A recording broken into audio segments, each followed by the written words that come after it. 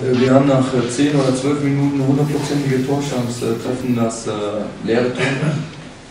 Ich denke, gerade bei den Bedingungen äh, wäre es wichtig äh, gewesen, ein Tor zu erzielen, in Führung zu gehen. Und, ja, damit ist die Geschichte des Spiels erledigt.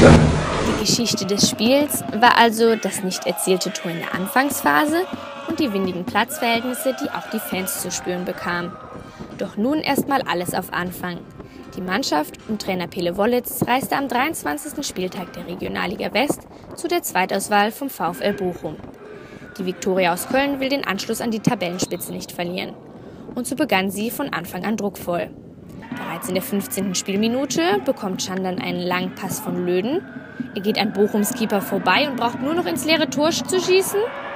Doch er schießt den Ball knapp am leeren Tor vorbei. Doch Viktoria spielt weiter nach vorn. Pagano über die rechte Seite. Doch er wird hier von Selim Gündüz gefault. Der anschließende Freistoß über Kapitän Mike Wunderlich strahlt dann aber wenig Gefahr aus. Beide Mannschaften stehen hinten gut und so kommt es nur selten zu kniffligen Strafraumszenen. Hier nochmal ein Angriff der Bochumer. Aber auch der Freistoß bleibt dann eher ungefährlich.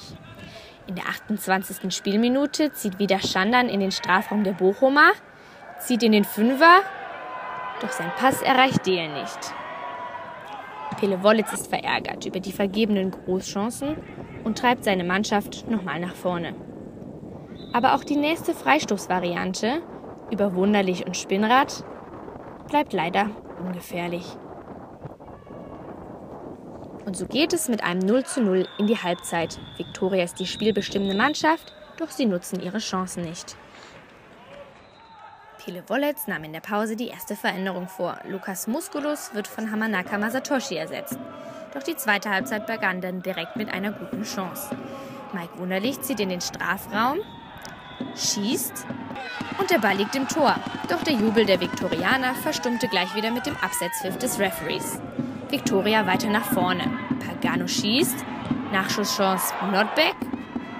Doch der verzieht deutlich. Die nächste Szene zeigt, wie windig es war. Bochums Keeper Ermes bekommt einen harmlosen Rückpass. Dieser landet jedoch hinter der Torauslinie. Aber auch die nachfolgende Ecke bringt immer noch nicht den ersehnten Torerfolg. Brenzka kann hier den Ball nicht richtig verwerten. In der nächsten Szene wird deutlich, dass auch ein vermeintlich harmloser Einwurf bei fehlender Kommunikation Probleme bereiten kann. Und so kam auch Bochum immer wieder zu Chancen.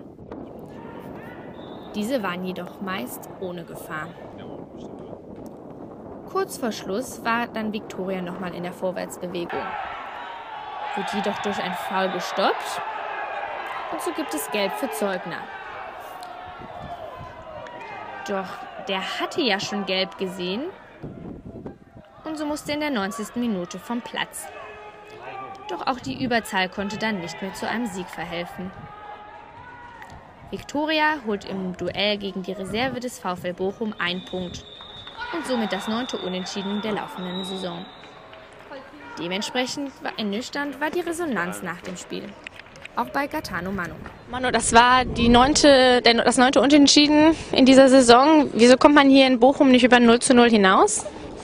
Ja, wir haben uns schwer getan, wir haben, wir haben uns auch nicht viel vorgenommen und äh, haben nicht das umsetzen können, was wir die letzten Spiele eigentlich gezeigt haben. Wir müssen aggressiver sein, wir müssen besser in die Zweikämpfe gehen und äh, ja, es war ein Kampfspiel heute und äh, wir haben nicht dem Bochumer gezeigt, dass wir älter oder erfahrener sind und das, glaube ich, äh, hat uns das Knick gebrochen. Und am Freitag geht es äh, gegen direkten Konkurrenten, gegen Siegen. Was erwartet man da für das Spiel? Ja, wir sind jetzt erstmal enttäuscht äh, von heute und dann gucken wir, dass wir das äh, nächste Woche besser machen, dass wir dann die drei Punkte zu Hause endlich holen.